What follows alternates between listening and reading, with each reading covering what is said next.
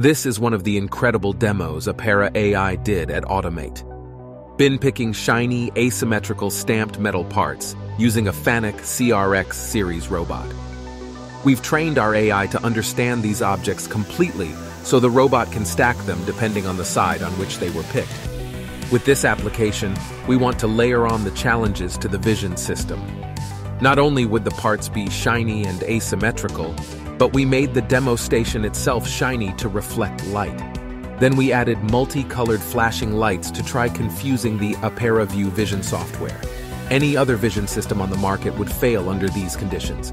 This application uses three camera sets to create three vision regions, one for each of the bins and one for the placement location. At the placement location, stacking is assisted by finding the stack even when it moves, and knowing the depth of the existing stack. Having three camera sets shows off the unique scalability of Apera AI's solutions.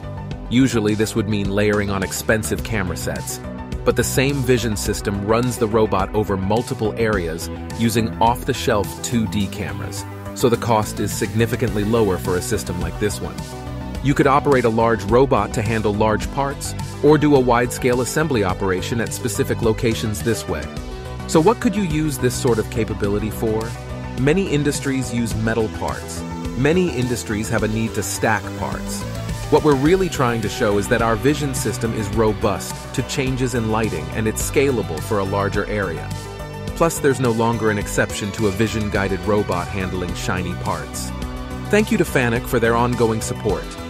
Visit apera.ai for more information or to get in touch.